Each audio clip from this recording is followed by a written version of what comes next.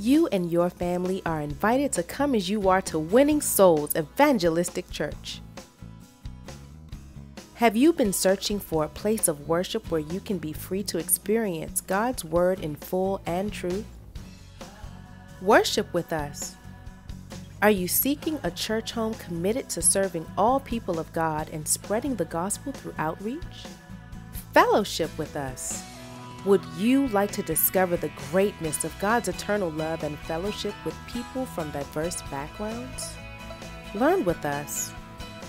If you've answered yes, come join us at Winning Souls Evangelistic Church, a non denominational, Bible teaching, Christ centered place of worship.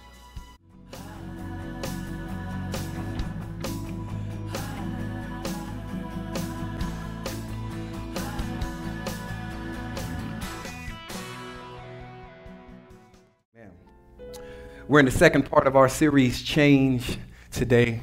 Good to see you, Marla. Oh, praise team, get show Marla some love. That's, that's our wounded praise team member. But I know her, she was probably back there singing it, holding the crutch. Amen. Amen. Amen. If you need a Bible, slip up your hand. The ushers will give you one. Brother Mike's holding them up.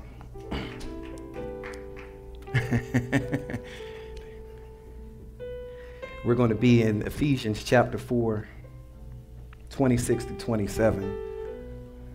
Ephesians chapter 4, 26 to 27.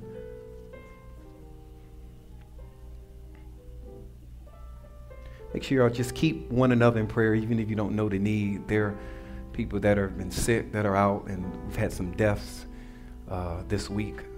So let's uh, just keep each other in, in prayer. I got a little brother in the house that came to worship with us today. He was on the keyboard. If y'all love what y'all hear, show my brother Chris some love in the back. Amen. Amen. Amen. I'm always adopting people. But praise God for him and his ministry gift and to our music department. And we got it together. We did, did the thing, didn't we? Amen. Ephesians chapter 4, 26 through 27, NIV, just these two verses. It says, In your anger, do not sin. Do not let the sun go down while you are still angry, and do not give the devil a foothold. One more time. In your anger, do not sin. Do not let the sun go down while you are still angry, and do not give the devil a foothold. This morning, I'm going to preach the second part of our change series, and this message is titled Anger Management. Anger management. You can take your seat. They're going to get tough over the weeks, but I'm just preaching from Ephesians 4. It's right, right in the, right in the Bible. His, it's his word.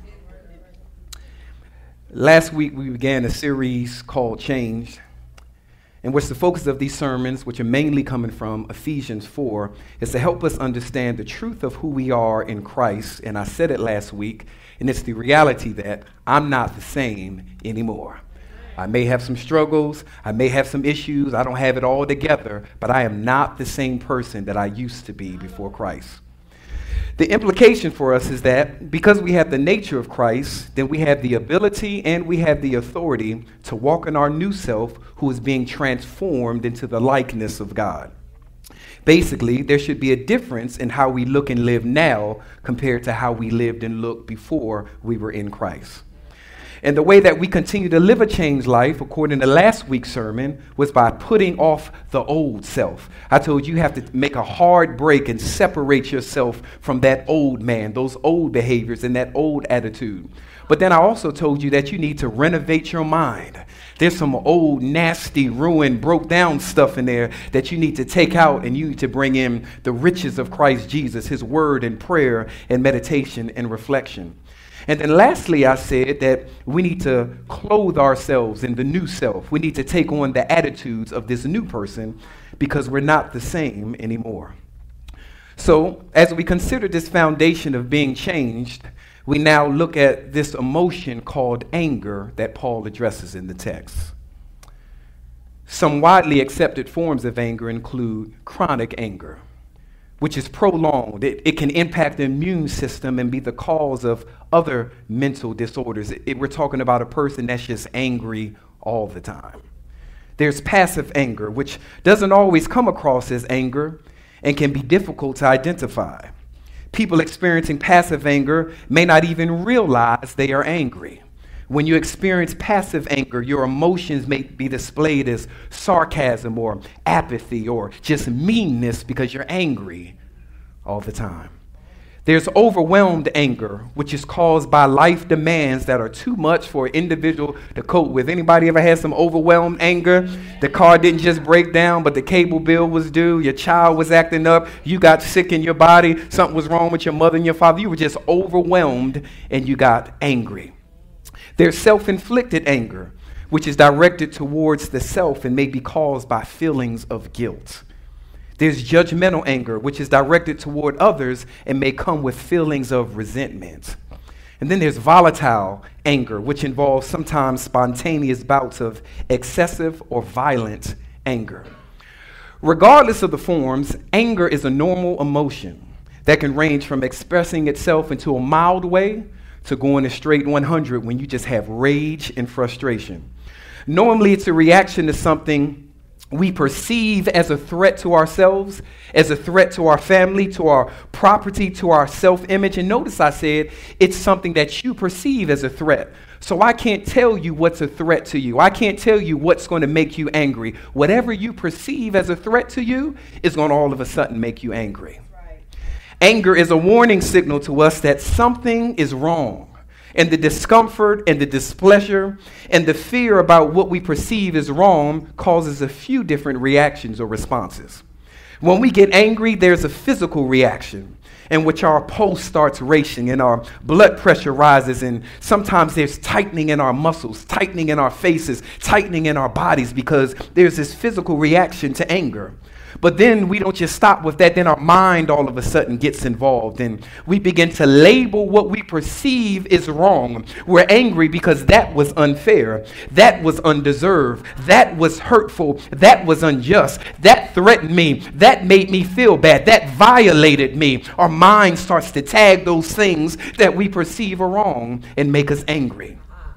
And once our mind has identified the cause of anger and we've processed it as a reason and we say that we have a right to be angry, then our behaviors begin to demonstrate at our level of anger. It may just be a look, depending on how angry you are. It may be a raised voice, depending on. Sometimes it's an inability to focus. Sometimes it's saying unreasonable things and even hurtful remarks. They just spew out your mouth. It, sometimes it can result in extreme haterade. Y'all know that one. Sometimes it could be just perspiring and sweating a lot because you're so angry. You become forceful. You slam doors. You throw things. You anybody see anybody walk hard because they just angry? You just angry, angry, angry. And sometimes people get so angry they just cry out of anger. It's not that I'm scared. It's not that they were getting on. It's not like I'm some punk and they were just getting on me. Y'all ever been there? You were just so angry, you just cried. You know you were about to knock them out, so it ain't fear. I'm just crying because I'm so angry and I feel real bad for what's about to happen. Don't let these tears. I'm just angry that I got to even go there. I'm just angry just because you violated me. That's why I'm crying. Yeah.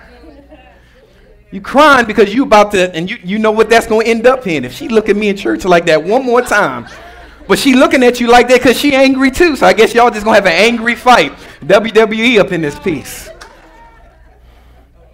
And see, there's so many things to make a person angry. You have to learn how to manage it.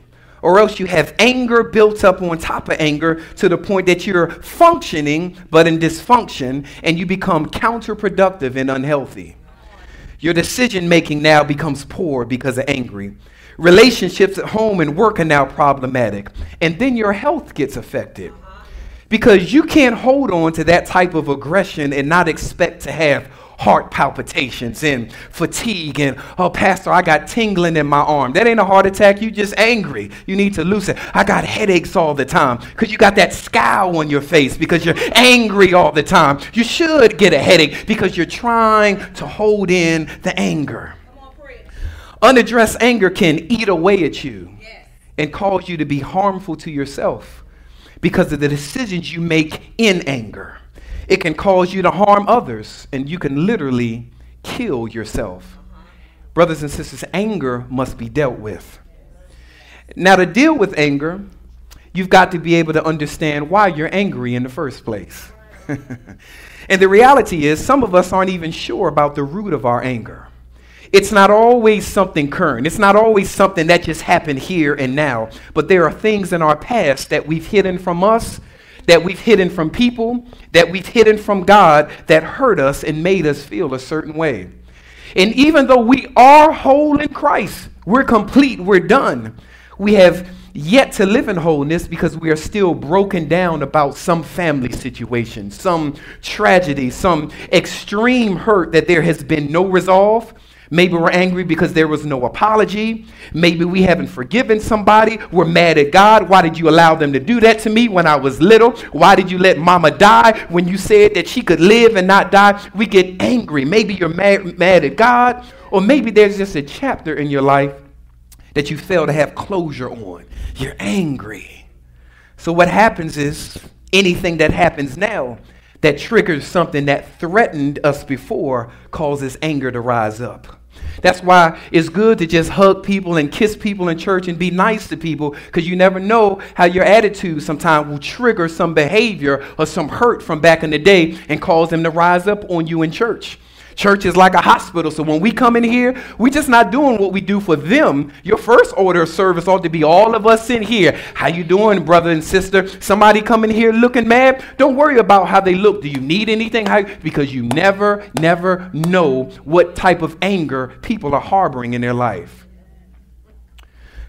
So anything that threatens us or makes us feel threatened by something in the past causes anger to rise up. And if we haven't learned through the power of God that we can manage it, then we'll allow it to push us into behaviors that look like the person we used to be before we met Christ. And I think that's the person many of us are fighting not to be. But you don't have to be angry. You don't have to be rotten. You don't have to be ruined. You don't have to be run down. You don't have to be that person over anger because reasons to be angry are going to keep coming at you. So you can stay like that, but more still going to come. Somebody's still going to tick you off. Something's going to happen at your job. Some craziness. I don't know how you hurt your knee, sis, but if that's compiled on something else, that's enough to make you angry. So you don't have to sit around and be ruined and rotten and run down, but you can win. Brothers and sisters, there will always be a reason to get angry. There's always going to be one. But Christ is the reason that we can deal with it properly. You have a choice in how anger affects you. And the beautiful thing about being a believer is that you have the Holy Spirit to help you and to empower you in your choice to overcome the negative effects of anger. Which means if you said, I'm coming out of this, you got the Holy Spirit saying, About time, I'm ready to bring you out of it too. A 2008 article in Psychology Today said that overcoming anger problems requires much more than managing the emotional feelings and psychological arousal of anger, as anger management classes strive to do. Eliminating anger problems depends on the choice of what kind of person you want to be. So, you overcoming anger problems is not about managing your emotions, but it's about making a choice about who you're going to be remember that you are new in Christ Jesus. So you already are somebody else. So if that's who you choose to live like, if that's the person you only desire to be, then be angry, but don't let your anger become you. I'm not telling you don't be angry. You need to get angry at some stuff, but don't let your anger become you.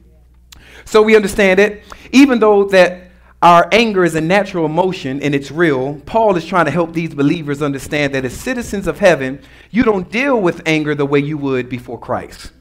Even in the midst of whatever makes you angry, Christ still lives in the midst of you. So you don't have to lose control or let it fill you to the point of sin. But you can manage this anger through the power of the Holy Spirit. In other words, brothers and sisters, I don't care what's going on, you got this. You may think you can't handle it, but you got this. You know why? Because you've changed. You're not the same anymore. And through the Spirit of God, you can handle the anger. Y'all all right with me? There are three principles in the text that Paul gives us about anger management, if you will. The first one is this there must be a decision to not let sin be the result of anger. A decision to not let sin be the result of anger. Verse 26 says, In your anger, do not sin. The words here that Paul uses are a direct quote from Psalms 4 4. Notice that he doesn't say, Don't get angry. But he says you've got to get control of your anger so that it all of a sudden doesn't become sin. See, anger itself is not something that we need to pray to not have anymore. I don't want to pray to not have anger because healthy or righteous anger is good.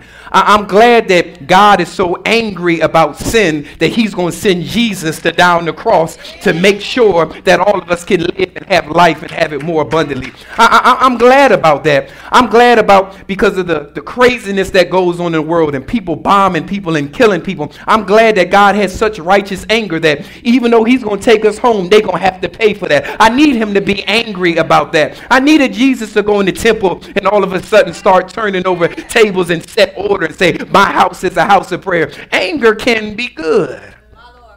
You need to be able to get angry about injustices in our legal system angry about mistreatment of people and oppression of certain groups and classes because that emotion will move you to action. Sometimes you need to just get angry about the fact that you're still the same place that you said you wouldn't be. You need to get angry about that and kick your own self in the behind and get moving. It's, sometimes it's good to be angry. However, the call here is to control the actions that are the fruit of anger because we can't control the onset of anger. No one knows how they're going to respond in a tragic or pro- problematic situation till it happens. You can plan for it and say, I know what's going down. I know how I'm going to act. No, you don't. Not till it happens. You can't assess how angry you'll be until after you've been affected. I, I, I know, I, I know mama's sick and she's going to pass away, but I spent time with her. I'm going to be good. You thought you was going to be good until they gave you that phone call. Now you're all over the place. You're angry. You're drinking. You're cursing God. You don't know. But what you can do is once you realize anger is filling up in you, you can make a decision to not let it control you, but you control it. And the way to control it is to push out the power that anger has on you from letting it settle in. Remember, there's an onset of anger, but you don't have to let it settle in and control your actions. You need to pour it, pour in God's spirit and God's word to where all that anger is trying to fill up. You need to press your way into a time of prayer and maybe praise God in advance for the victory and allow that filling of His Spirit to control you so that your behaviors match up with what you believe. See, when you allow God to take control, you accept His methods over yours. So, instead of being angry and sinning, if you spent time with God and allow Him to fill those places, and now you accept His methods over yours, if vengeance is His, then leave it in His hands. If that battle doesn't belong to you and you says it's the Lord's, let Him fight the battle. If he's going to supply all your needs according to his riches and glory, let God take care of that. If he's going to keep you in perfect peace, your job is to keep your mind stayed on him. Don't let the anger get to you. Let the Spirit of God come in and minister to you, and you accept whatever methods he's going to do in your life. I've told y'all this many times. One of my state favorite statements you stay filled good even if you don't feel good, so that your anger doesn't result in sin. You stay filled good even if you don't feel good, so that your anger doesn't result in sin. Notice Paul is telling them to not sin in their anger. In other words, he's talking to them as those who actually have the power and the ability to not sin, regardless of their level of anger. Oh, I'm just so angry, I've got to do something. You can still make a choice not to go do that. Don't give me that, pray for me because I'm about to go cuss them out. Pray for me because I'm, why do I need to pray? You already made a choice. How about you make a choice that came out of prayer and then you won't go do what you think you want to do? But don't tell me to pray for you. Make a choice. So the principle here is that anger, I don't care how bad it is, doesn't give you a license to sin. Anger isn't your excuse for doing something that's against God's word. Anger isn't some untamed emotion that has to end with actions that are ungodly. Anger doesn't do that, but anger can exist and not push you beyond the limitations set by God's word. You can use God's word and you can use a healthy dose of prayer and push anger out so that sin is not the issue. And this is the challenge of the changed life because we're talking about change. And it's understanding that because you are new and God has given you his characteristics, you have what you need to take control. You don't have to lose control. You have what you need to take control of your life and respond to anger in a controlled, confident, Christ like manner. You can stand up to anger and say, I will not be defeated. I will not be ruined. I'm not going to lose my job over this. I'm not going to lose my family over this or my kids. I shall not be moved. You got the power in you to be able to do that. Your friend talking to you can't do it. The psychologist can't do that for you. Medications can't do that for you. You got to get in the presence of God and say, This ain't going down. Like, I will not be wrecked because of anger. Anger does not have to take over you because if Jesus got up from the dead and you rose with him, that tells me you over the anger that he conquered. Oh, oh yeah. You're over it. You don't have to let it be over you. But you need to realize that you're over it, and then you need to get over it and let God in so he can do what he needs to do. Make a decision to not let sin be the result of your anger. But there's another principle here that Paul displays in the text. There must also be a, a determination to quickly let go of anger. It's not just not letting sin be the result of your anger, but there's a determination to quickly let go of anger. He says, Do not let the sun go down while you are still angry. Paul says, regardless of what makes you angry, your feeling of anger can't last into the night, it can't go into the next day. Anger must be dealt with as quickly as possible. William Barclay comments on this, and he says, Plutarch tells us that the disciples of Pythagoras had a rule of their society that if during the day Anger had made them speak insulting to each other. Before the sun set, they shook hands and kissed each other, and they were reconciled. See, anger may have some initial reactions, but amends can still be made quickly. I know it hurt. That thing was fire. It stuck you. It was bad. But amends can still be made quickly so that those initial emotions don't carry over into the next day. Sometimes they carry over into weeks. And then you look back, how come this year was the same as last year? Because that anger just went over into year after year after year. See, the quicker you seek to mend the offense, you are in a frame of mind to deal with it more rationally. But the longer you wait, the less likely you are to address it favorably. And sometimes you never address it and you become more bitter because the anger just starts to metastasize in you. If you're married or in a relationship or friendship, if you've been wrong to the point of anger and don't attempt to deal with it quickly, it will keep dealing with you. Imagine if it's, your, if it's your husband or your wife, you have to wake up every day saying good morning, knowing that you're angry. If it's your child, wake up every day knowing that you're angry. If it's somebody at your job, it's your best friend, you're high fiving, you're seeing them, but the whole time you're angry.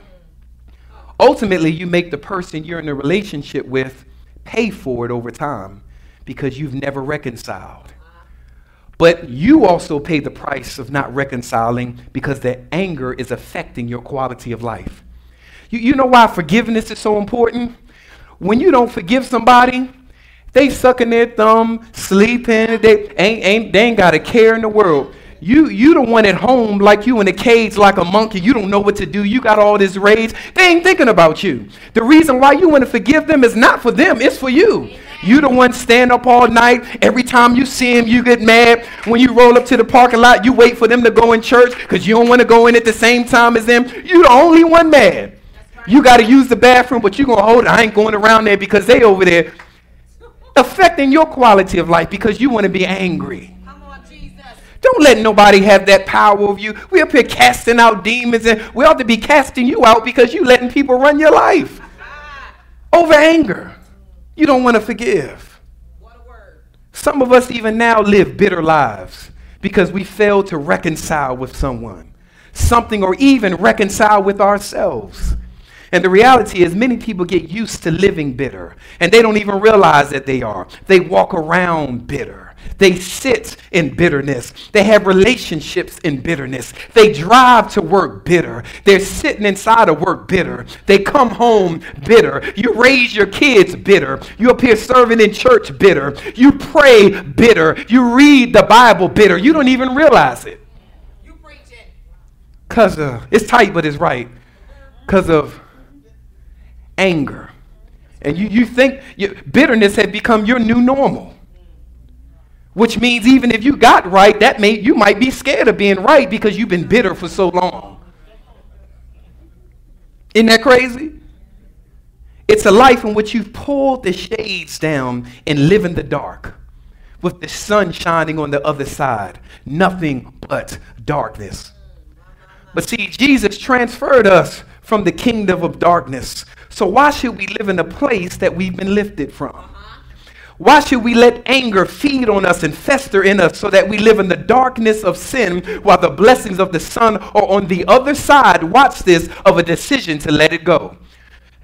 The blessings are on the other side of a decision to let it go most of our anger, when we hold it, becomes sin. Sin sets up a wall where God can't get to us what He's trying to get to us. So while you're sitting in darkness and sitting in anger, the whole time you're not making that decision to let it go, there are blessings on the other side of your decision waiting for you. And if you want to tear down that stronghold, all you got to say, I apologize, I forgive, I'm not taking it no more, I'm releasing it from my life. You've been messing up your life. Everything you proclaim from year to year never going to happen because it's on the other side of a decision to let it go. So the day you decide to let it go, I got to forgive today. I got to stop holding. Expect the blessings of God to come your way. But he ain't going to be fooling with that sin. And I'm not just talking about what you do and what you say. I'm talking about what you think before you even do it. That's setting up a wall too. Preach, Pastor Edwards. You, you, you might, you might want to release that if you're trying to get all that God has for you. Y'all all right with this? I don't know about you, but I don't want to miss what God has for me because I'm messed up off of what somebody did to me. And can I tell you this? People are always going to do something to you. So if you can't take one person or, two people, I hate to say it like this, you might as well just go to heaven now because it ain't gonna get no better. I mean, just be like Stephen in the New Testament, like just take me, Lord, just forgive them of their sins and just take me, Lord. Somebody always gonna mess with you. But you gonna have your life be all messed up because they keep coming against me. They keep saying stuff. They keep doing stuff. Whether it's in your household or outside, it's always gonna happen. I don't want to prolong my destiny because I'm so damaged, but what I wouldn't let go and who I wouldn't forgive. Messing up your destiny. And now you get too weak to go forward, too tired to really get up and go, too crazy to plan for your future because all that stuff you're angry about. Imagine this. You can't even plan for your future because anger has infiltrated your mind. You're all messed up. You don't know what you want to do how you want to spend your money, how you want to raise your kids. You and you and your husband or your wife, y'all can't even go forward because your mind's so messed up by anger. Baby, we ain't gone nowhere in a while. we ain't been on a vacation in a while. we ain't kissed in a while just because your life messed up because of anger. I'm preaching the truth. Too angry to speak life to your situation because angry people don't speak life. Everything they see is just bad. It's wrong. I know how this going to turn out. They don't like me. I don't like them. That's how angry people talk. Nothing positive. Brothers and sisters, we've got to let go of anger quickly because as those that have been changed, we risk the chance of living like the old us. And who we were doesn't benefit who we are and who we're trying to become. Brothers and sisters, we've got to let it go. But lastly, Paul shows us something else. There's a danger in living with anger. Verse 27 and do not give the devil a foothold. That, that's, that's, that's the danger. See, it was just you dealing with it, but now you done tag team somebody else into it. And I don't know about you, or I can mess my own life up. I don't need the devil to come in. That, that, that's just worse. Lastly, Paul identifies a problem that can arise when anger isn't dealt with. When we don't deal with anger, it leads to bigger problems. Anytime there's a breach or some opening that doesn't get repaired quickly, then there's always an opportunity for something external to come in and make matters worse. I told you all this story a, a long time ago when me and my wife were living in New Jersey. We, uh, we had a little hole up, up in our roof on the side of the house. It was just, it was just a small hole. And I don't know if you know how squirrels operate. All, all squirrels need is a small hole. They don't have to have a big hole where they can just walk right up in. All they need is a small hole. I'm sure we saw it, looked up there. We first time homeowners, we, we ain't know nothing about it. Before long, we'd be sleeping right over our head. When I say good morning to her, they saying good morning to us. It was just one, it's just like one happy family. But they took the opportunity because they saw the hole. And they made what was a small hole bigger. And then they got in and made a home in my house. And now that they've made a home in my house, they started taking liberties. I'm gonna use the bathroom here. I'm gonna go down on, in, in the walls. I'm gonna eat up some wires and stuff. I'm gonna run around when they don't want me to run around. They took liberties and started wreaking, built a whole big nest in there. All because the hole was left open. Now imagine your life. Because you got anger and you don't want to mend stuff and you don't want to close the breach. It may be a small thing. I ain't really that mad about it. You better be true to yourself because the enemy would come in and make that a big thing, and then he'll start taking liberties into your life, pulling back some old crazy stuff that wasn't even an issue because he wants you to be angry and sin. So it's not just what you're thinking about now. He'll go grab some crazy stuff and say, I'm going to get them to ruin their life, and he'll add this on and add this on. He'll set up shop right inside your spirit. All because you gave him a foothold. I want to be free. I want to be delivered. You better work on mending some stuff. The devil has a place now to set up shop and work evil. And he does it when fractured relationships aren't mended. That's a hole. When we leave a gap because we're holding on to a grudge and don't want to forgive, that's a hole. When we have an argument and we don't apologize, that's a hole. We don't realize it. But now it's not just us when anger is present but we've invited the enemy in. And sometimes he's done major damage before we can finally run him out. I don't know what them squirrels did, but by the time we ran them out, they did what they needed to do up there. By the time you really grab hold of it, he have messed up your life. We don't realize it. So now, if Paul is talking to the church and one of the themes is unity, imagine how this affects unity in the body. What if there are multiple people holding on to anger and it's causing cracks in the foundation? Then you wind up with a church in which the enemy is given too many opportunities to kill, steal, and destroy. Because for every unforgiveness, every no apology, every fractured relationship, there's a hole. And just imagine the enemy all over the church wreaking havoc. Because we didn't want to seal up the cracks in the foundation. Then you wind up with a church where the enemy just runs rampant. But see, it's not going to kill the church because Jesus says that the gates of hell shall not prevail against his church. So the church isn't going anywhere. But you wind up with a church full of hell, which doesn't have to become, which doesn't have to be this way when we have the power to get the hell out of the church. If this is supposed to be the place of peace and the place of healing, then we should be doing all that we can to protect it. You know how we protect it? I'm sorry, my brother and sister. You know what? The Bible talks about I got an ought against them. I need to go straight to them first and not to everybody else because if I go to everybody else, it's going to mess up this relationship anymore. You know what? I'm harboring something. I need to go forgive. Come on, preach. That's how we protect. We protect it and we ensure that the devil has no opportunities. We got to cut it out so that we can cut him off immediately. If you're going to be angry, be angry about the fact that the devil has been running more of your new life than you have. That, that, if you're going to be angry, be, be angry about that. Be angry about the fact that when life was good, all you could do was see bad and you made it bad because you wouldn't mend the relationship. Be angry about that. Be angry about the fact that it's 2016 and you're five or 10 years behind where you should be in life, all because you didn't choose to deal with your angry anger. Be angry about that.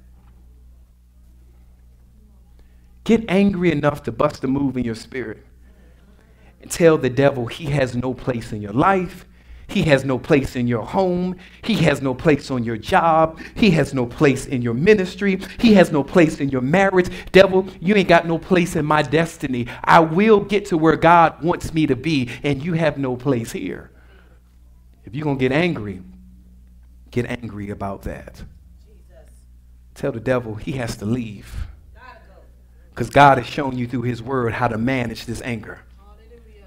You will smile again. You will be healthy again. Brothers and sisters, anger can no longer run and ruin our lives. It can no longer destroy us, mess us up, mess up what God's trying to do. Through the Spirit of God, we must manage our anger. I didn't say by yourself through the Spirit of God, we must manage our anger. Make a decision that I will be angry sometimes, but I'm not going to let it result in sin. And then you got to be determined that if I'm angry, I got to fix this thing quickly. The sun can't go down on my anger. And then there is that bit of caution. Watch out for the enemy trying to get a foothold in your life. There's already other areas in your life where you're going to have holes where the enemy's going to try to get in. But don't let it be just because of an emotion, something like anger, just because you don't want to control it. Vengeance is mine. I got to do something about it. You're going to hurt somebody else, but you're going to be hurting the end too. Because the enemy, sure enough, going to bust a move on you. That's his delight. Anger, management. We got to deal with it, brothers and sisters all heads bowed and eyes closed. Father God, we thank you for who you are. We thank you for this changed life. We thank you that we don't have to be affected by what used to affect us. We don't have to make the old decisions. Winning Souls Evangelistic Church is one of the area's most dynamic churches, touching the lives of hundreds of people in Pasadena and the surrounding communities. We are a community full of energy, faith, and most importantly, people who want to serve God and one another. We're dedicated to being a place where you can believe, belong, and become all that God intends you to be. Winning Souls Evangelistic Church is committed to being a loving, healing fellowship where you can discover the abundance of life in Jesus Christ. Newcomers are extended a most cordial invitation to worship and unite with us. We extend an invitation for all to come and join us this Sunday at 10 a.m. for an anointed, powerful, and uplifting worship of God. Give us a call today for more information or visit us online.